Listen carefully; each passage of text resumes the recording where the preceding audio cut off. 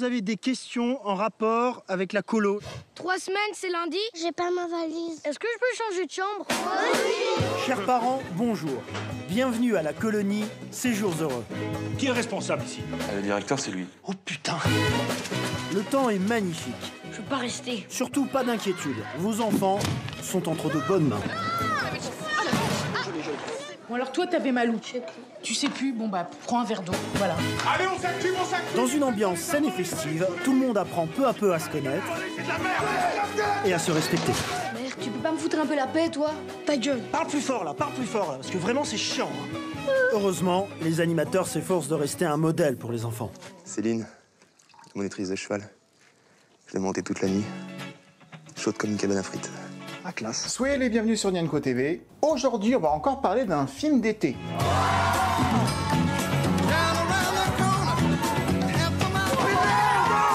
Puisque cette année, nous allons passer toutes les vacances d'été ensemble, chaque semaine, même le mois d'août. Et aujourd'hui, j'ai l'impression de dire ça assez souvent, mais on va parler d'un de mes films préférés. On va parler de Nos Jours Heureux.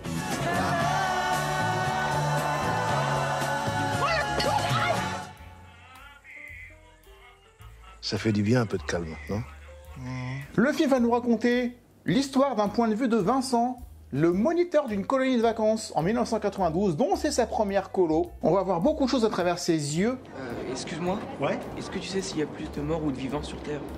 Enfin, je sais pas.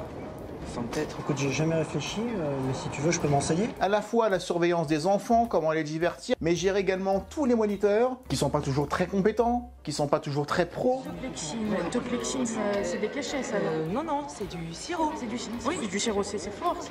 fort. voire parfois pas diplômés. On va voir les histoires de drague, les histoires d'amour, les petits accidents de parcours, les imprévus, les grosses embrouilles. Ou quoi Ou quoi? De toute façon, t'as rien dans le bide. Alors si t'es pas content, tu te casses. La porte est grande ouverte. Tout ça dans un savoureux cocktail qui donne envie de partir en vacances. Et ça tombe bien, c'est le moment. Ça s'est bien passé hier soir? Ouais, très bien. Je vais faire partir le feu. Lave-toi les dents d'abord. Et ce film, pour moi, il est complètement à part de tous les autres qui sont derrière moi. Je n'ai jamais l'impression, à aucune minute de ce film, que je suis en train de regarder un film.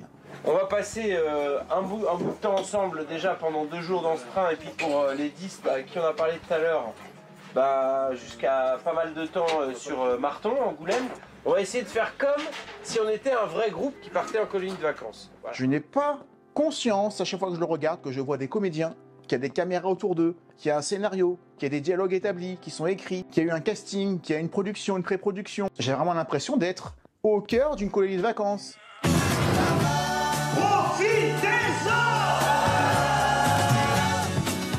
Cet été, confiez vos enfants à des professionnels. Et j'en ai fait une, donc je sais aussi de quoi je parle. Mais on va le voir dans la première partie de la vidéo. Ils ont vraiment emmené 80 gamins et beaucoup d'acteurs adultes qui n'étaient pas connus à l'époque mais qui le sont aujourd'hui. C'est un film dur physiquement. Je savais pas que c'était aussi dur de tourner avec des gamins. Déjà des gamins pour euh, les gamins acteurs, mais avec 50 figurants derrière ou 70 figurants, parfois même 100, dans, les, dans un car, dans un train Dans corail train, pendant ouais. 48 heures de- Ça, d'affilée. c'était sympa, ça. Paris-Mulhouse, Mulhouse-Paris tous les jours. Euh, à, à rouler seulement, ça fait beaucoup. Bon bah c'est bon là, ça fait une heure que tu me saoules avec ton sac, tu veux pas t'asseoir un peu? Moi, c'est Daniel, animateur. Coupé, table de fin. C'est très bien. Il n'y a pas de vedette, c'est une unité. Et ça aussi, je ne l'ai jamais ressenti. C'est je commence à ressautiller, il faut que j'arrête de, de faire des sauts. Je n'ai jamais autant ressenti ce côté unité dans une équipe au niveau du tournage, parce qu'on sent vraiment que les deux réalisateurs dont on va parler ont fait ça pendant 10 ans, 15 ans. Donc c'est vrai que c'est vraiment nos souvenirs en tant qu'animateur et directeur des gamins. Là, il y a, y a- il y a huit comédiens et ces huit gamins-là ont vraiment euh, existé. Quoi. Donc c'est vraiment tous nos souvenirs de certaines typologies de gamins euh, qu'on a, mis, euh, qu'on a mis dans le film. Ça se ressent. On sent tellement que les personnages qu'ils mettent en scène, ils les ont rencontrés, tant les moniteurs que les enfants. Que forcément, ça sent le vrai. Et avec la vérité, on ne triche pas. Ça sert d'avoir fait des colos euh, parce qu'on gère les enfants tous les jours. On sait comment leur parler, comment ne pas les braquer. le contact, quoi. On a tout de suite été vers eux, il n'y a On pas, de mis- barrière, on ils nous pas mis de disent ce qu'ils distance. veulent. On aurait pu mettre une distance en disant écoutez, on est réalisateur, vous êtes figurant et machin, mais nous on s'est fondu. Dès qu'il y a une heure de, de- un changement de lumière ou 20 minutes, on va discuter avec eux. On reste pas forcément avec les acteurs adultes, on va avec les enfants et puis. euh, Et ça, ça se ressent. Je suis sûr qu'on leur demande des choses des fois que pour qu'ils acceptent, il faut quand même qu'ils aient confiance en nous. Mais ça a tellement pris Sur le tournage, qu'à la caméra, on a du mal à distinguer le comédien du personnage. Aussi bien chez les grands que chez les petits, encore une fois. Au bout d'un moment, à tourner deux mois ensemble, juillet et août 2005, il me semble, et ben ils ont vraiment formé une troupe de colonies de vacances qui fait qu'encore une fois, ce qui se passe devant la caméra est vrai. Il y a une part de vérité. À mon avis, euh, c'est un hyperactif. Hein. Je suis bien d'accord avec la grosse. Là, il dort parce qu'il a tellement gueulé qu'il faut qu'il récupère. Euh, J'essaie de faire contact avec l'enfant. Encore une fois, dans tout ce que j'ai là, c'est avec ce film-là que je ressens le plus, ou que je ressens le moins, ce côté film. J'ai l'impression d'être avec eux. Et c'est un bonheur. Beaucoup de personnages de ce film existent, en fait, ont existé, quoi. C'est-à-dire chez les enfants, chez les animateurs. C'est des patchworks, c'est des mélanges de plusieurs personnes qu'on a rencontrées où on a mis des. L'autre jour, on faisait une scène aux Olympiades et, on s'est rappelé que les animateurs, euh, quand on faisait les Olympiades, euh, enfin, quand on était directeur, ils aimaient pas perdre dans les jeux. Ça les énervait de perdre. Du coup, on s'est mis à rajouter des scènes où les animateurs viennent voir Vincent euh, dans le film, le directeur, en disant Qui est-ce qui a fait les équipes là? Parce que moi, j'arrête pas de perdre. Mais on s'en fout. Mais si, moi, ça me fait chier, j'ai pas envie de perdre. Eh, Vincent Ouais. Je peux te poser une question? Ouais. Qui est-ce qui a fait les équipes? C'est moi pourquoi? Ouais, parce que j'arrête pas de perdre. Et comme souvent avec Olivier Nakache et Eric Toledano, le rire n'est jamais gratuit et n'a jamais vocation qu'à nous faire rire. Pas comme la première partie du cerveau qu'on a fait la semaine dernière, ou il y a deux semaines.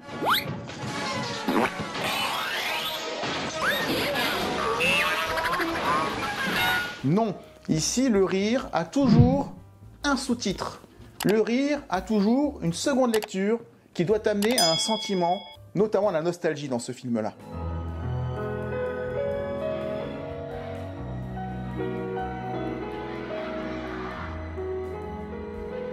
La nostalgie avec laquelle tu te disais qu'à la fin de la colo, tu allais prendre les adresses de tout le monde et qu'on allait s'écrire des cartes postales et qu'on allait jamais se perdre de vue. Pas toujours comme ça que ça se passe. Et de mon point de vue d'ado, je me souviens parfaitement que j'avais un animateur canadien aussi, qui était très caractériel, qui était assez imprévisible, comme Truman dans le film. Voler, c'est de la merde Jamais chez nous, ça s'est arrivé, jamais Arrête, Roman, arrête. Non Merde Putain, ça 15 ans, ça vole, bordel Je me souviens qu'il y avait un gamin particulièrement dragueur mais qui n'arrivait pas forcément à grand chose et qui voit son ami se taper la nana qu'il visait lui-même. Que je la trouve sympa, enfin, qu'elle me plaît. Enfin, je sais pas, débrouille-toi, mais va lui dire que je veux sortir avec elle. S'il te plaît, Youssef, fais ça pour moi, s'il te plaît, va lui demander. Oh putain, t'es chiant Je me souviens aussi de l'enfant, là c'était une fille je crois, qui était un peu hyperactive et qui voulait rentrer chez elle tout le temps et qui pleurait tous les jours parce qu'elle était pas bien. Sauf le dernier jour où il fallait rentrer, là elle voulait rester au camp.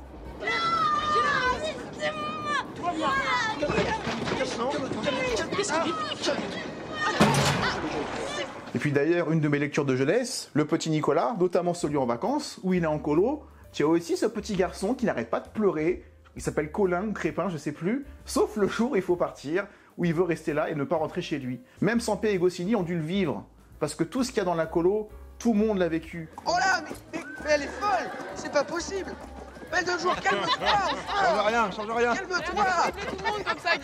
On est forcément, à un moment donné, soit enfant, soit parent, soit les deux. Et dans le livre du petit Nicolas, il y a aussi ce passage où il rentre chez lui après 15 jours de colo, où il se retrouve tout seul avec ses parents. Au bout de 10 minutes, il s'ennuie parce qu'en colo, t'as toujours quelqu'un à qui parler, t'as toujours un ami, t'as toujours des activités. Et quand tu reviens dans le monde réel, que t'as l'école dans une semaine, tu déprimes, tu déprimes complètement. Et je me rappellerai toujours de ce que j'ai ressenti quand je suis revenu de ma seule et unique colo.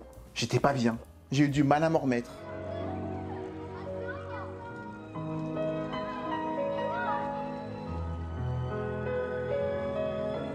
Allez, place à la première partie de la vidéo, le tournage, le projet de Jours Heureux, et dans une deuxième partie, on se reverra en images pour parler du film.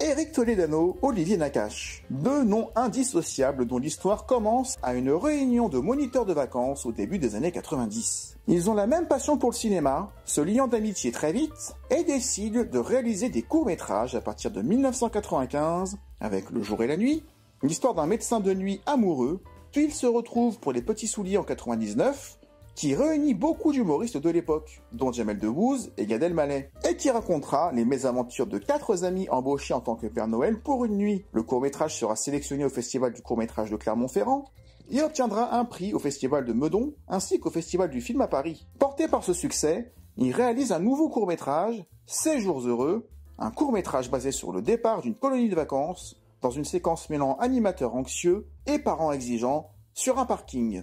P comme pédagogie. Vous restez calme. Vous criez pas et vous êtes poli. Vous oubliez les mères, chier, putain, etc. Faut leur montrer qu'on est soudés et que c'est pas la première fois qu'on bosse ensemble. Un court-métrage dont le film reprendra bien des éléments. On peut en déduire que ce qu'on voit à la fois dans le court-métrage et dans le film sont des souvenirs très vifs pour les deux réalisateurs, notamment avec cette mère qui demande au chauffeur si tout va bien parce qu'il y a son fils, son précieux fils dans le chargement. Dites-moi, c'est vous le chauffeur? Non, le conducteur. Ouais, enfin, le conducteur, c'est pas le problème. mais- Ça va, vous êtes en forme? Vous avez bien dormi? Pas la peine de vous presser, hein, vous avez tout le temps. Hein. Vous savez qu'il y a mon fils avec vous. Vous êtes le chauffeur? Ah non, je suis le conducteur. Enfin, le conducteur, c'est pas le problème. Je suis Madame Marciano. Ça va? Ça va, oui Oui. Vous êtes en forme? Oui. Pas d'embrouille avec votre femme, ça va Non, je vous dis, parce qu'il y a mon fils Steve avec vous dans le duo d'amis et de réalisateurs réalise leur premier long métrage en 2005 avec Je préfère qu'on reste amis, un cuisant échec commercial puisque le film ne restera que deux semaines à l'affiche, avec 300 000 entrées. Un film qui avait pourtant un casting alléchant, avec Gérard Depardieu, Annie Girardot ou encore un certain Jean-Paul Rouve. Mais ils décident de rebondir dès l'année suivante avec un projet bien plus personnel, Nos jours heureux, adaptation de leur court-métrage 16 jours heureux. Omar Sy reprendra d'ailleurs son rôle, et Jean-Paul Rouve reprendra le rôle joué initialement par Laurent Deutsch. Mais cette fois-ci, le film ira au-delà de la scène de départ et la scène du retour, car nous verrons cette fois, long métrage oblige, le séjour en entier. Il dit que ça peut réduire l'audition. Enfin, je sais pas, enfin peut-être. Mais tu sais quoi, si tu sais pas, ferme-la, ok? Sur le fond, elle a pas tort. hein. Enfin, je sais pas. Enfin, peut-être. Le tournage aura lieu près d'Angoulême, au château de Marton, lieu où le duo de réalisateurs ont été animateurs d'une colo. Ce lieu les avait beaucoup marqués et ils y avaient gardé des souvenirs gravés à vie. Et l'écriture du film s'était basée sur ces locaux. Que ce soit les extérieurs, la cuisine, le réfectoire ou les chambres, ils avaient tout gardé en tête. Le producteur a donc décidé de louer pendant du mois la propriété, qui était alors en travaux, pour y tourner le film, afin de garantir une authenticité maximum. Les 80 enfants castés puis engagés pour le film ne dormiront certes pas sur place, mais dans des gîtes aux alentours et des acteurs dans les hôtels, et pour décompresser d'une journée de tournage bien éprouvante, ils organisaient de réelles batailles de pelochon ou de vrais matchs de foot. En somme, ce qu'ils feintaient de faire devant la caméra en journée, ils le faisaient réellement le soir, devenant ainsi une véritable colo dans la colo. Je pense qu'à la fin du tournage, ça va être comme à la fin d'une colo, je pense. Ça va chialer. on va prendre les adresses et on va s'écrire des cartes et tout. quoi.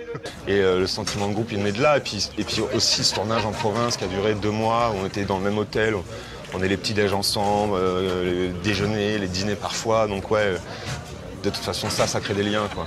Chez nous, les Quakers, on aime bien le cheval. Mais tourner avec des enfants n'est pas si simple. Outre le fait de les canaliser parfois durant plusieurs heures dans un réfectoire blindé sous 35 degrés, ou que ce soit dans la scène du train qui a réellement fait des allers-retours durant 48 heures afin de favoriser l'immersion du spectateur, car oui, le train roule vraiment, la loi leur interdisait également de tourner avec des enfants après 22 heures, d'où des nuits reconstituées grâce à un jeu d'éclairage. Alors là, chapeau, parce que je n'y ai vu que du feu. Autre fait important, l'histoire devait se passer dans les années 90, une époque sans téléphone portable ni internet, afin de réellement couper les enfants de leurs parents, chose impossible à faire aujourd'hui. À noter également que le casting est une réussite selon moi complète, car les acteurs n'étaient pas encore les premiers rôles à l'époque, tels qu'ils le sont aujourd'hui. Jean-Paul Rouve, par exemple, on commençait à le voir, dans Monsieur Batignolles par exemple. On le reverra l'année suivante dans Ce soir je dors chez toi à côté de Mélanie Doutet. Mais jusque-là, pour moi, Jean-Paul Rouve, c'était l'éveil dans Julie Lescaut. Omar Sy, c'était pas encore le Omar Sy qu'on connaît. Joséphine Demeaux, c'était son tout premier rôle. On connaissait aussi Marie-Lou Berry, et encore, à peine. Bref, ça aide complètement à l'immersion et à la cohésion de ce film de troupe, car il n'y a pas de tête d'affiche. Qu'est-ce que t'as apporté ce film dans ton parcours? Le jour heureux Non, le parrain. T'es con ou quoi? Le parrain On parle de quoi tout à l'heure? Du parrain Oui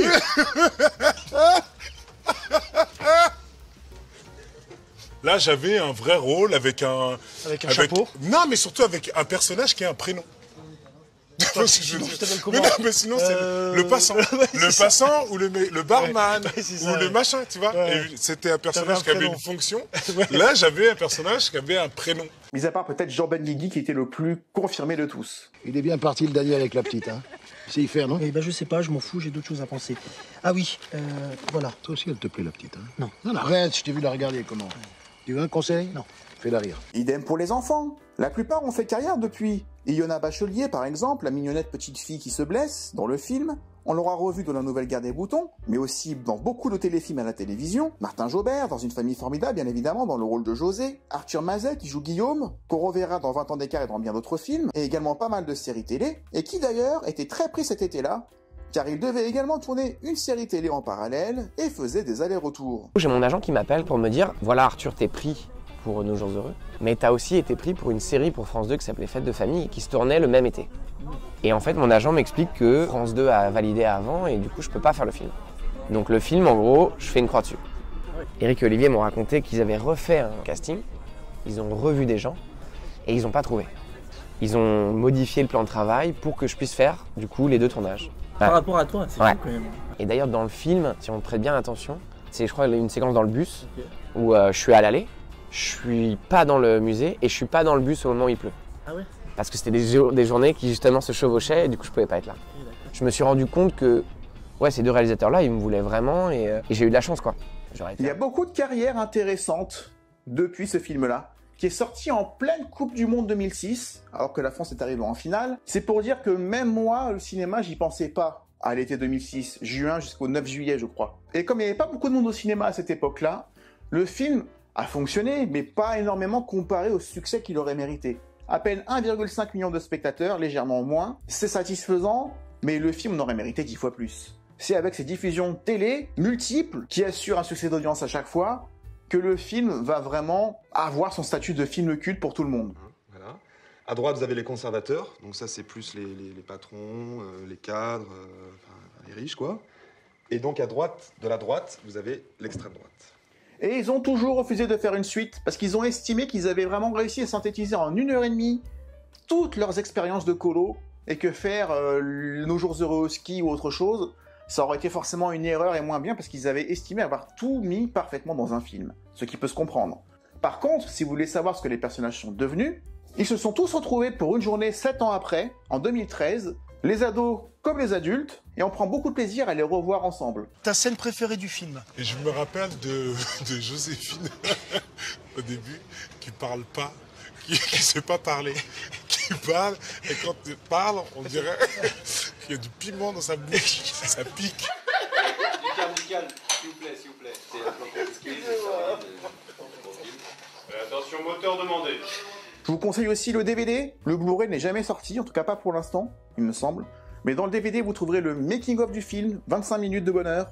Vous aurez également pendant un quart d'heure la pré-production, le casting, les séances de répétition entre les acteurs. Il y a aussi beaucoup de scènes coupées, près de 8 minutes de scènes coupées, qui sont toutes bonnes pour moi, mais qui peut-être ralenti le rythme du film, ça aurait cassé le rythme. Il y a des scènes dans le train supplémentaires qu'on n'a pas vues. Il y a beaucoup de scènes d'au revoir à la fin. On retrouve enfin la valise de Charlotte qu'on cherche durant tout le film. C'est des petites conclusions à tout le monde qu'on a un peu laissé en suspens. Pour ceux qui aiment ce film et qui sont frustrés qu'il n'y en ait qu'un, regardez le making-of, les coulisses, les retrouvailles 7 ans après et les scènes coupées. Ça prolongera le plaisir. Ton meilleur souvenir du tournage?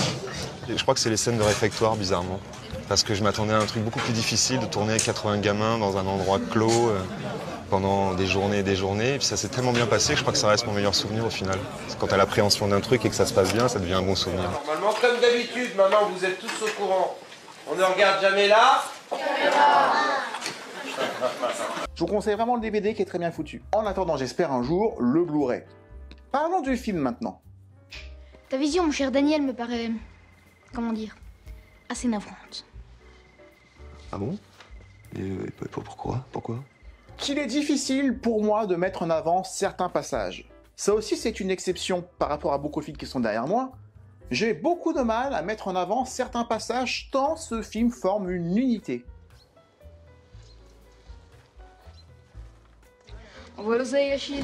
Merde. Parfois, il y a des temps forts dans certains films parce que juste avant, il y a des temps faibles ou juste après, il y a des temps faibles. Là, tout est tellement fluide, tout est tellement cohérent, tout est tellement utile pour nous présenter les personnages et les enjeux qu'il y aura entre eux, que je ne retire rien. Gendarmerie nationale. On a trouvé ce petit près de la gare. Il est de chez vous. Il y est venu à pied. Il y a 20 km d'ici à la gare. D'ailleurs, c'est intéressant. Le film commence sur le quai d'une gare, le jour du départ, et se finit sur le quai d'une gare, le jour du retour, puis, 15 ans après, il me semble, sur le même quai de gare, où cette fois-ci, il va déposer son propre enfant en colo, histoire de montrer que la boucle, non pas est bouclée, mais continue. J'étais animateur. Euh, Une minute, s'il te plaît.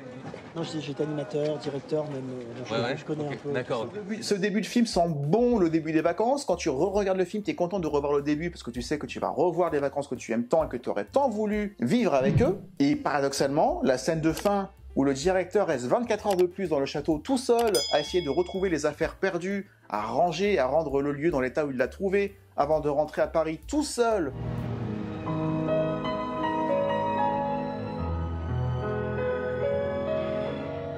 Qu'est-ce que c'est déprimant cette scène-là, mais en même temps c'est vrai. Quand il est dans le réfectoire avec toutes les chaises qui sont rangées, quand il est dans la cour qui est complètement vide et qu'il entend la voix des enfants qui résonnent en train de jouer pendant ces trois semaines où tu pourrais avoir l'impression que les enfants étaient bruyants, que c'était fatigant, mais une fois qu'ils sont partis et que tu te retrouves tout seul dans les mêmes lieux, et bah t'as ce côté blues, blues, blues, que le film arrive à te faire ressentir parfaitement.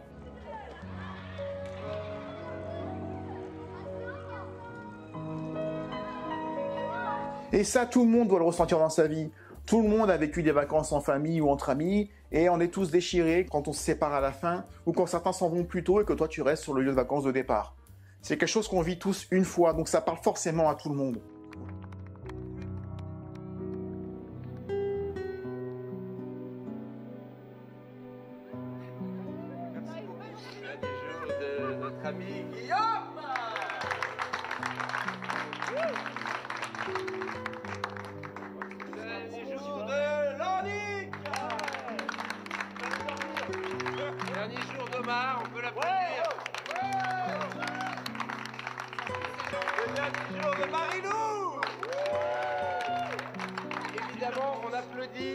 Caroline et Julie, s'il vous plaît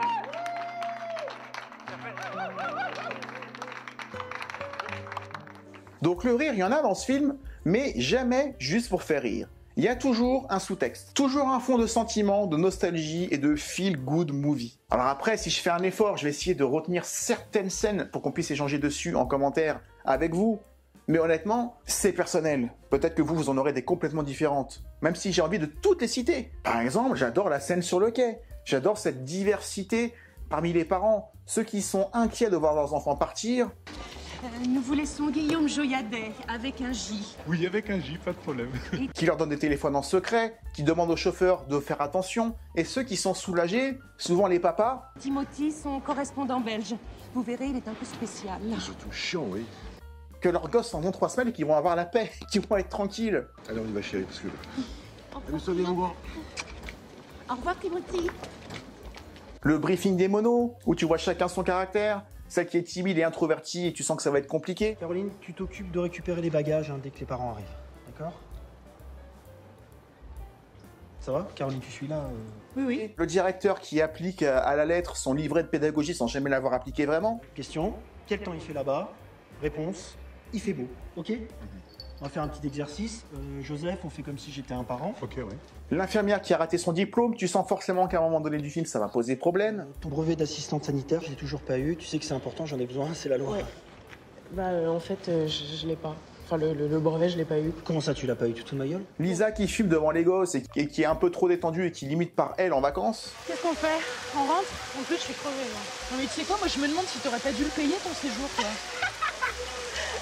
Et qui va être la convoitise de tous les mecs, mais pas forcément. L'animateur que tu sens un peu beau gosse et qui va jouer le beau gosse avec toutes les filles, que ce soit les petites ou les grandes. Salut les filles, moi c'est Daniel, animateur. Ça va, tout se passe bien? Ça va. C'est quoi vos petits noms? Moi, c'est Camille. Joseph qui va avoir le smile tout le temps, qui va toujours être de bonne humeur. Celui qui danse, celui qui rigole. Bref, tu sens que chacun a un caractère qui va amener cet esprit de groupe.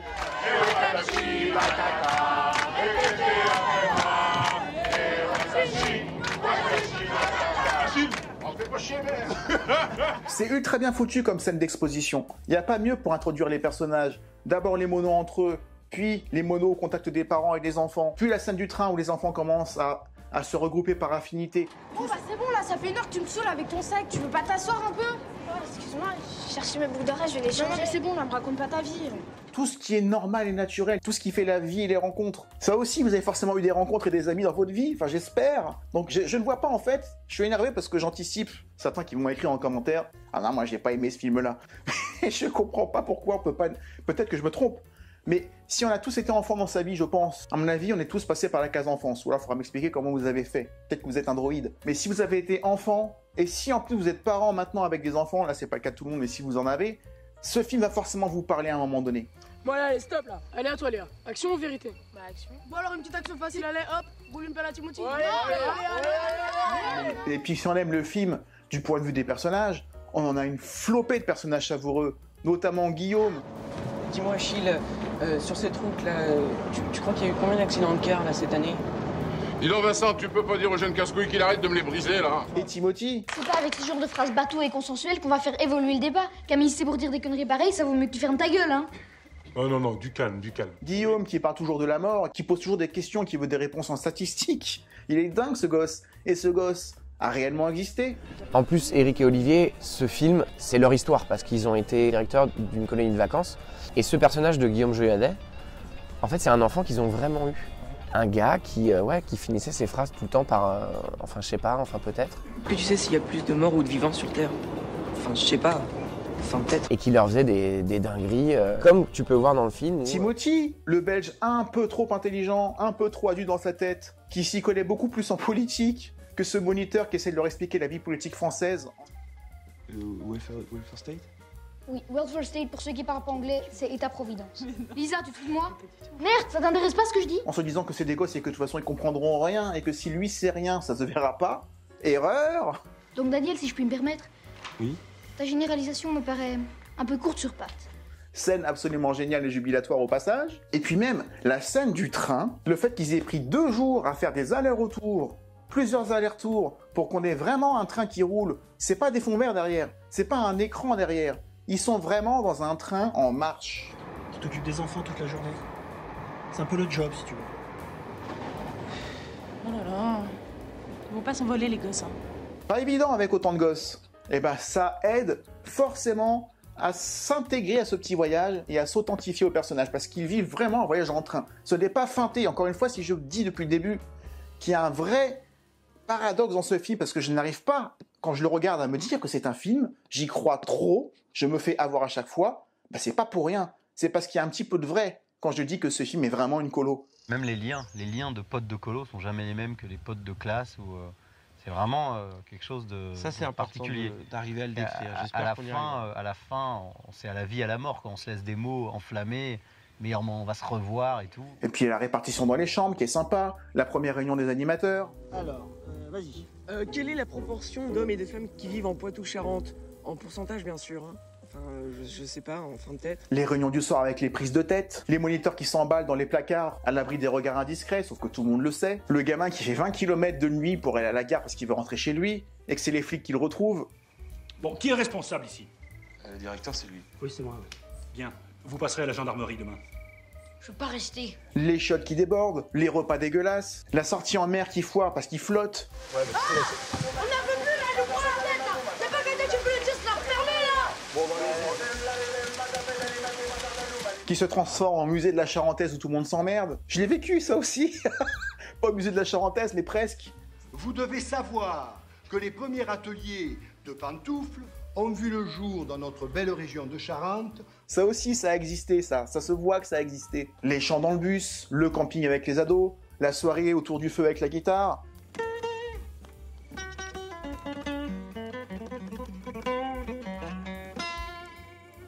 Ou t'as le moniteur qui se fait piquer sa guitare par un môme qui joue dix fois mieux que lui et qui va se vexer. Daniel, fais pas la tronche, merde.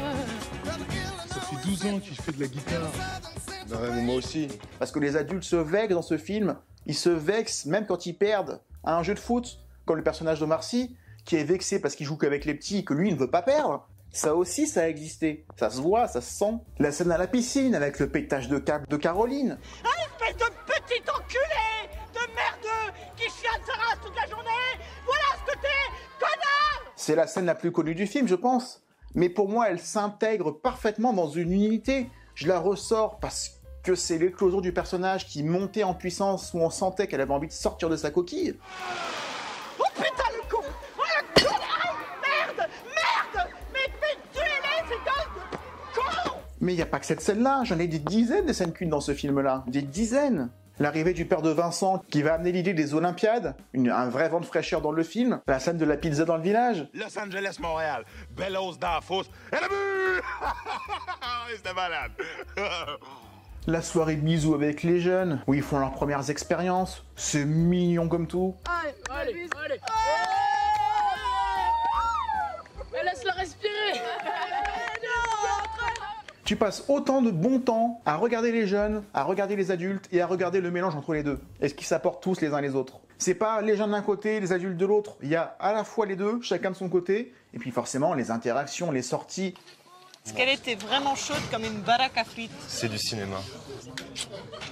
Mais par contre, euh, je l'ai revue après et euh, elle m'a dit que c'était un calvaire pour elle parce qu'elle avait des groupes d'enfants qui lui faisaient en permanence.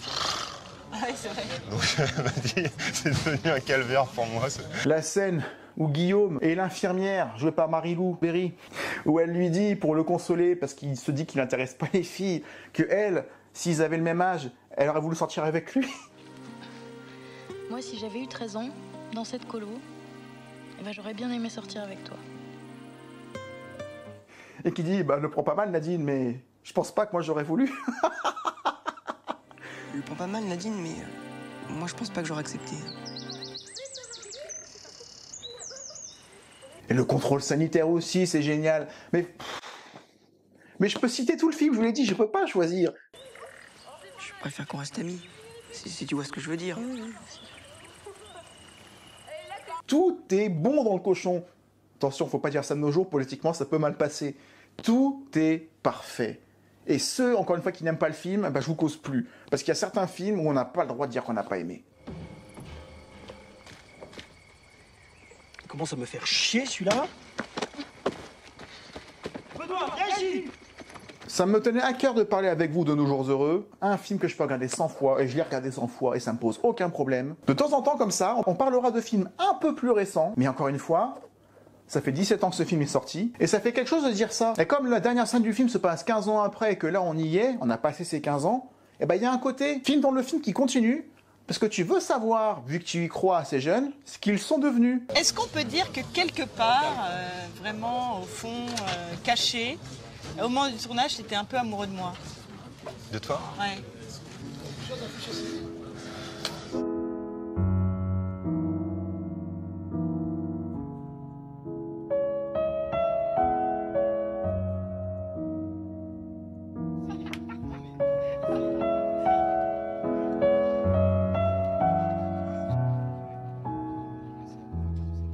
Savoir ben, qu'est-ce qui s'est passé après? Est-ce qu'ils ont fait d'autres colos? Est-ce qu'ils se sont retrouvés? Ou est-ce qu'ils ne se sont pas retrouvés parce que c'est les promesses en l'air et on se le dit à chaque fois qu'on ne se perdra pas de vue, mais c'est le cas. Tu as envie de savoir. Et comme tu ne sais pas, pas forcément, ben, qu'est-ce que tu fais? Tu re-regardes le film. Avec toi la confiance, aimer savoir aimer. Bravo, super, c'était vraiment bien. Bravo, on applaudit Caroline, ouais Et ce qui contribue à cette impression, c'est qu'encore une fois, la frontière entre fiction et réalité est ultra mince, parce que ces comédiens sont très proches de leurs personnages, parce qu'il y a vraiment une colo dans la colo, parce qu'ils se sont vraiment pris au jeu. Les acteurs adultes ont vraiment joué les monos auprès des jeunes le soir après les prises ou entre les prises. Et ça, encore une fois, tu ne peux pas tricher. C'est tellement logique que ce soit vrai que tu te poses pas la question. Bref, Nos Jours Heureux, c'est le plus beau feel-good movie qui soit. Si tu ne vas pas très bien, regarde-le. Si tu ne peux pas partir en vacances l'été et que tu es frustré, regarde-le. Les vacances arrivent et tu vas te mettre dans l'ambiance, regarde-le. Les vacances sont derrière toi et la rentrée te déprime, regarde-le. Si vous regardez cette vidéo, malgré le fait que vous n'ayez pas connu le film, je vous en remercie beaucoup. N'hésitez pas, juste après, le plus vite possible, à aller visionner Nos Jours Heureux. Regardez-le si vous ne connaissez pas, vous vous sentirez tout de suite mieux après, même si vous allez bien. Parlons-en en commentaire dès maintenant, et puis si vous ne savez pas quoi dire ou si vous n'êtes pas inspiré, vous avez juste à dire... Tiens, hey, regarde ce que je t'ai apporté, les restes des mon couscous de Noël. Non, ça c'est. euh, regarde, super, risqué. hein. C'est formidable. Les. Passez un bel été, passez de belles vacances si vous en avez. En tout cas, merci d'avoir regardé la vidéo jusqu'au bout, j'espère qu'elle vous aura plu. Pensez à liker, à commenter, à vous abonner si ce n'est pas déjà fait. On se retrouve la semaine prochaine pour une nouvelle vidéo. Et d'ici là, comme je le dis à chaque fois, prenez soin de vous. Ciao